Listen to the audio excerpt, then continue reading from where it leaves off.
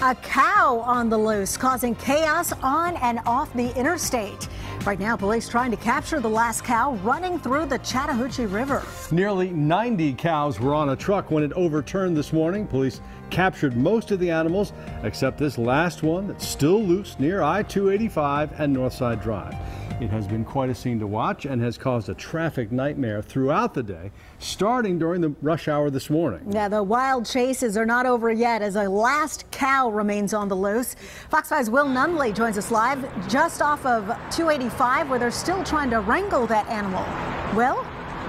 Yeah, if you thought this story was over hours ago, it indeed is not. We're here off Powers Ferry Road in a business.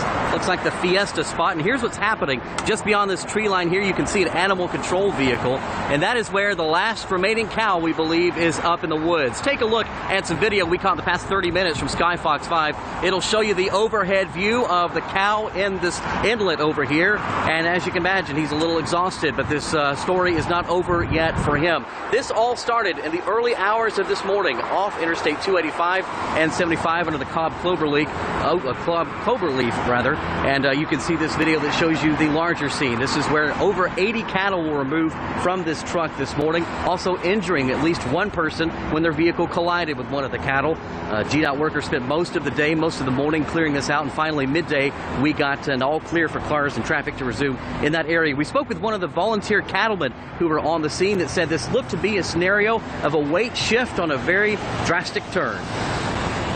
They're so top heavy, they got all that weight in the cows, and they come off these off ramps right here. They to take and be real slow, but it throws that weight, all that weight, they go on one side.